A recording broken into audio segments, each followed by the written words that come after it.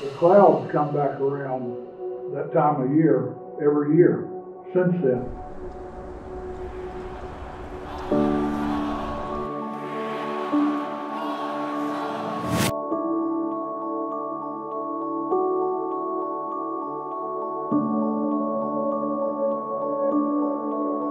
the beginning of last week to make sure that we honored the 75 with our performance.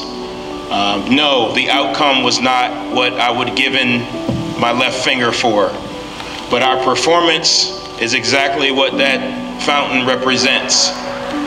It was strong, it was tough, and we fought to the finish.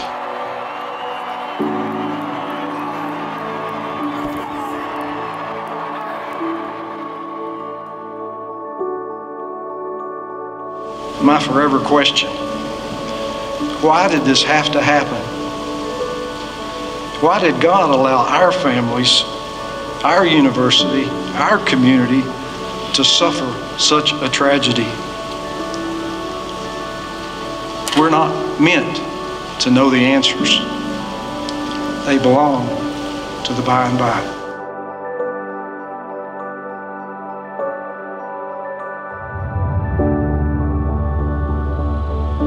Then you're going to put this helmet on. You're going to be playing tomorrow for yourselves and your teammates alongside here, but you're going to be playing for right here in front, the 75. But on both sides of the helmet, the young thundering herd. Those who went through more trials and tribulations than I can even imagine so that Marshall would and could continue to play and that the reason that you are standing here this evening.